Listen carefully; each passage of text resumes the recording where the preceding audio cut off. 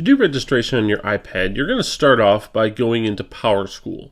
Now, I'm going to search for PowerSchool here, and there are actually two different versions of PowerSchool uh, that you have on your iPad. You have one with the blue P, and then you have one with a white P. They both are navy blue apps, but the color of the letter P in the center of that app is different. Um, the blue P is the PowerSchool app that will not work for registration. So you need to use the PowerSchool web link, which is the blue app with the white P. Um, that will take you into the website version uh, of PowerSchool that looks like this. Now you may also get to PowerSchool by clicking on the link from your building website.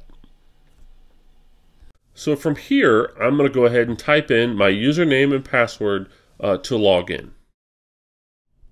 Now, it's important to note that your username is your uh, first part of your email address, not your complete email address, just the first part before the at symbol. Uh, it's on the sticker that's on the back of your iPad.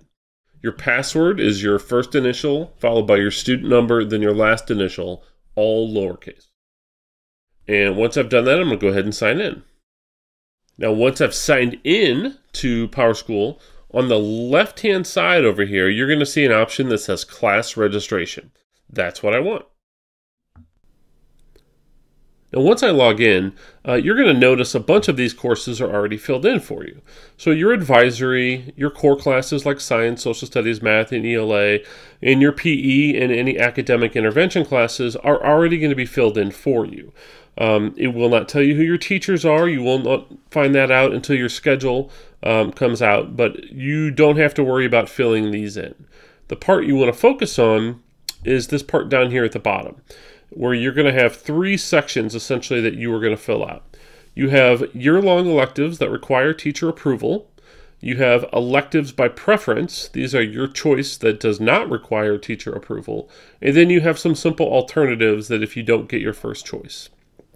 So, year long electives that require teacher approval are band, choir, orchestra, and Sigma. So, the way choosing electives works is you need two total credit hours of electives. Each credit hour counts for one year's worth of a course.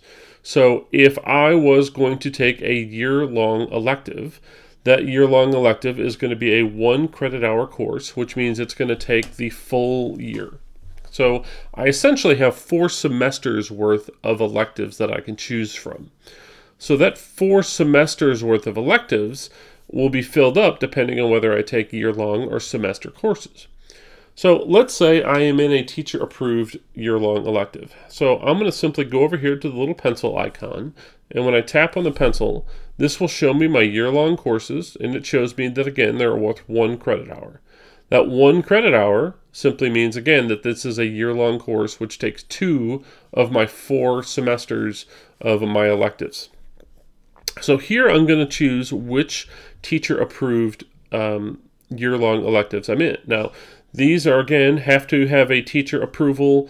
Um, you can't just sign up for these without a teacher uh, giving you permission. Now, band, choir, and orchestra uh, take place during the elective block. So they will take up one full semester or full year of uh, your elective.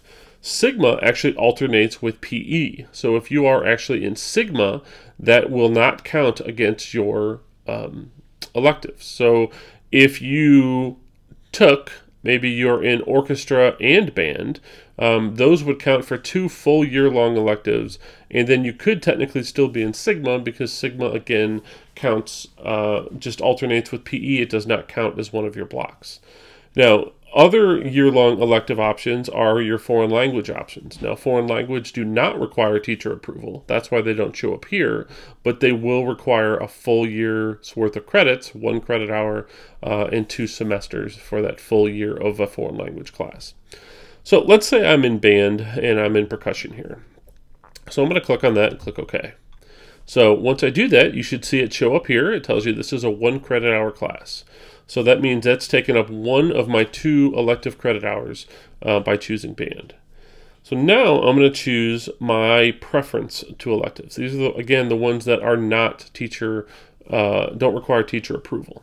So if I tap on the pencil, um, I have, important to note, two pages worth. So there's one page here, and then down at the bottom there's a number two, and this will show me the second page of electives. So now, if you're not familiar with what these are, um, you can find the descriptions in your course book. Now, uh, again, you'll notice foreign language classes like French, German, and Spanish are listed as one credit hour classes, which means they will take a full year's worth.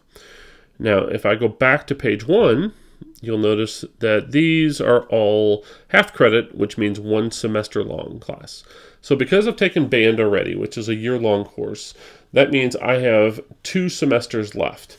So I could take a year long foreign language class if I want, but in my case, I enjoy computers, so I'm going to take two semesters of different computer classes. So I'm going to take maybe digital media and computer science. Those are both 0.5 credits, which equals 1.0 total, which again are two different semesters that equal a full year. So I'm going to go ahead and click OK. So now you'll see I have a one credit hour band class and two half credit hour computer classes which total equal two credit hours, which fills up my entire year. Now, if everything works out and you get your first choice, that's great. But sometimes your electives don't work in your schedule or maybe aren't offered on times when you have hours available. So it's important to pick some alternatives, other classes that you would also like in case your first choice doesn't work out. So, and that's what you'll do here under alternative electives by preference. So if I tap on my pencil, here I can choose up to six um, different options. Again, I have two pages worth. Um, same options I had before, but I'm going to choose some other options of other elective classes I'd also like to take in case those first ones aren't available. So maybe I would like to take um, a design class or maybe a PLTW class and maybe a FACS class and then click OK. And so those again are listed as my alternatives in case these don't work out. Now, once you've finished, you should see a little green check mark next to every single line all the way down here. And as long as you see a green check mark all the way down, uh, then you're ready to submit. So you won't see it here on mine, but you're actually going to have a big submit button that's going to show up on the bottom of your page. And once you hit submit, then you have finished your course registration.